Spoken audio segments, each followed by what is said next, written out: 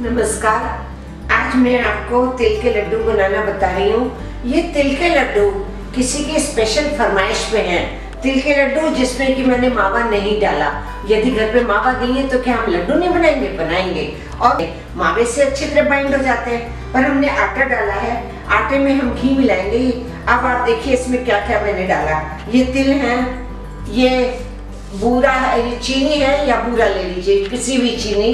ये है थोड़ा सा सिका हुआ आटा, करीब तीन टेबल स्पून और इसमें है पिसी हुई इलायची, और ये थोड़े से बादाम और ये घी। इसमें थोड़ा सा दूध लिया है ताकि हम इसको जब बांधे तो ये लड्डू छीटा डाल के अच्छी तरह बंध जाए। अब मैं इसको कढ़ाई में तेल को डाल रही हूँ सेकने के लिए जब सीख जाएँगे तो मैं इसको पीसूँगी।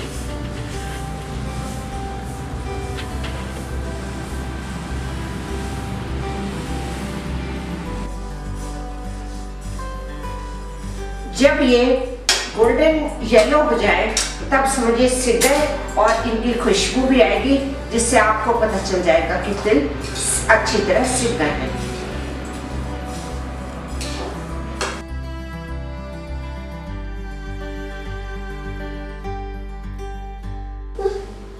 अब मैंने इसको मिक्सी में डाल के थोड़ा थोड़ा दरदरा पीस दिया। इसमें मैं पिसी हुई चीनी मिलाऊँगी, थोड़ा सा ये आटा मिलाऊँगी और ये जो मैंने इलायची पाउडर रखा है, इसको मिला करके, थोड़ा सा घी मिला करके अच्छी तरह से फिर इनके लड्डू बना लूँगी। लड्डू बनाते समय चूँकि चिप, आपस में बैटिंग नहीं हो पाएगी, मावा नहीं है, इसलिए हम दूध का छींटा लगाते जाएँगे और लड्डू बनाते जाएँगे। अब मैंने इसमें थोड़ा घी मिला दिया। और इसको चला, चलाना पड़ेगा इसको। घी पिघला हुआ डाला है। ताकि इसको थोड़ा बाइंडिंग मिल जाए। घी इसलिए डाला है, घी नहीं भी डाले, कि मैंने इसमें थोड़ा आटा मिलाया है। आटे का, सिका हुआ आटा डाला है, और सिके हुए आटे का टेस्ट अच्छा आएगा, और इसमें बाइंडिंग भी हो जाएगी।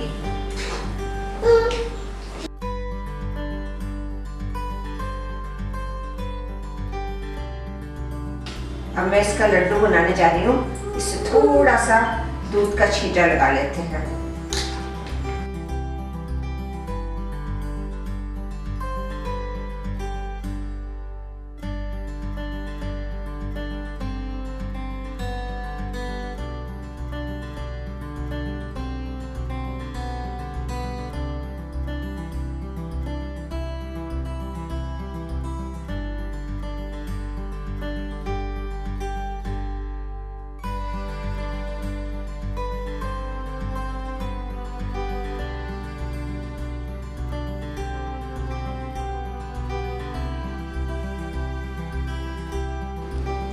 लीजिए लड्डू तैयार है खाइए और घर वाले बच्चों को भी बड़ों को भी सबको खिलाइए।